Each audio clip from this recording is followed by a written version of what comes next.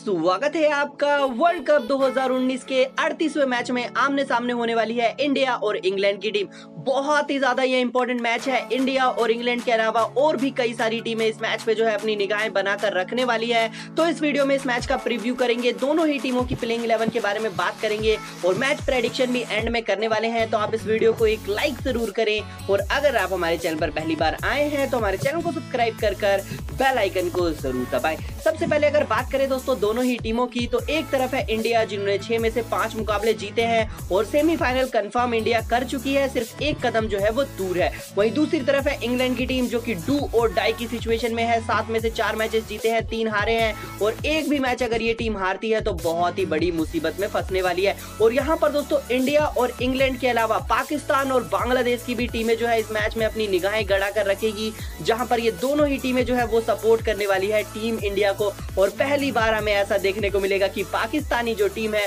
वो मैच देखेगी बैठकर कि इंडिया जीत जाए यहाँ पर इंग्लैंड से, ताकि उनके चांसेस जो है वो यहाँ पर सेमीफाइनल में जाने के बढ़ जाए। तो पाकिस्तान की टीम यहाँ पर इंडिया को सपोर्ट करेगी, बांग्लादेश की भी टीम इंडिया को जो है इस मैच में सपोर्ट करने वाली है। बात कर लेते हैं दोस्तों, दोनों ही टीम की प्लेइंग इलेवन की। तो सबसे पहले बात करते हैं यहाँ पर टीम इंडिया की। तो के राहुल और रोहित शर्मा ओपन करने वाले हैं क्योंकि कोई और ऑप्शन है नहीं। इनके अलावा विराट कोहली नंबर तीन पर होंगे जो कि बहुत ही अच्छे फॉर्म में है। नंबर चार पर यहाँ पर विजय शंकर या फिर ऋषभ पंत हमें नज़र आ सकते हैं। इनके बाद होंगे महेंद्र सिंह धोनी, केदार जाधव और हार्दिक पांड्या।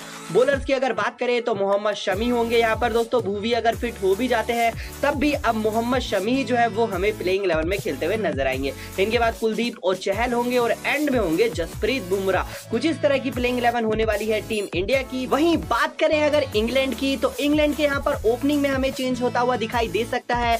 जेसन रॉय अगर फिट होते हैं तो वो हमें ओपन करते हुए दिखाई दे सकते हैं, वरना जेम्स विंसी खेलेंगे। इनके साथ जॉनी बेस्टो जो है वो ओपन करते हुए नज़र आएँगे। नंबर तीन पर होंगे जॉय रूट नंबर चार पर कप्तान इयन मोर्गन इनके बाद बैन स्टोक्स होंगे जॉस बटलर होंगे और सातवें नंबर पर होंगे मोइन अली बात करें इनके बोलर्स की तो यहाँ पर क्रिस वोक्स होंगे, आदिल रसीद जोफ्रा आर्चर और मार्क वुड कुछ इस तरह की प्लेइंग इलेवन जो है, वो होने वाली है इंग्लैंड की। तो दोनों ही टीम की प्लेइंग इलेवन की हमने बात करी, दोनों ही टीम की प्लेइंग इलेवन जो है, वो बहुत ही ज़्यादा तगड़ी बात करते हैं दोस्तों इस मैच को लेकर हमारे सवाल की तो आज का सवाल है रोहित शर्मा को लेकर। और रोहित शर्मा कितना स्कोर इस मैच में करने वाले हैं, आपको देना है इस चीज़ का जवाब। दोस्तों यहाँ पर आप दस दस का डिफरेंस रख सकते हैं जैसे कि 20 से लेकर 30, 40 से लेकर 50, 60 से लेकर 70, 90 से लेकर 100 ऐसे जो आंसर है वो आप यहाँ पर कमेंट कर सकते हैं। साथ ही साथ अपना पेटीएम नंबर कमेंट करना बिल्कुल भी ना भूलें। और अगर आपका जवाब होता है सही और होता है सबसे पहले तो शुरुआती दो विजेताओं को पचास पचास रूपए का पेटीएम कैश जो है वो मिलने वाला है। एंड में दोस्तों बात करते हैं इस मैच के प्रेडिक्शन की तो दोनों ही टीमें बहुत ही ज़्यादा बढ़िया है स्ट्रॉन्ग है। इंग्लैंड के लिए ये मैच जो है वो डू और डाई का है लेकिन फेवरेट जो है वो टीम इंडिया लग रही है।